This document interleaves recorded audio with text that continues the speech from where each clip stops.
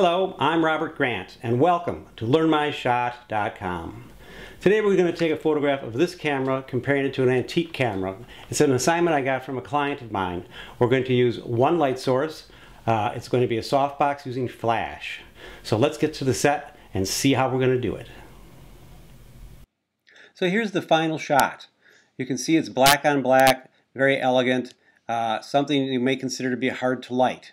So let's get over to the set. We'll show you the setup and then show you what we did to get this effect step by step. So here's our set. I've got the cameras on a glass background with black paper under it to make it a black shiny surface. We've got a softbox on the left. We have a black card for the background and a couple of black metal objects for graphic interest. I feel that the black on black makes it a very powerful image. So let's back the camera up a little bit and show you how we're going to light this. Now we see the entire set. We have our camera in the foreground here, our softbox on the left, our camera's on the surface, and I'm using a very small little table. And the reason for that is so I can get the light in very close and a little bit lower than the table to get the nice side light.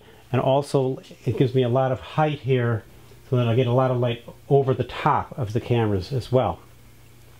We're shooting at uh, f14, an 80th of a second, ISO 100, and the lens is at 72 millimeters. Uh, so we worked that exposure out earlier. So now let's turn on our flash and make an exposure. Well, that looks really nice. It looks very dramatic. Uh, it's a little bit too black, so let's uh, go on to the next step. Okay, that looks pretty good, but we need some light from the right. By the way, the sound you hear is the fan inside the head, so that's the that uh, sort of annoying rushing sound. At any rate, we're going to use a shiny board. A very shiny reflective board.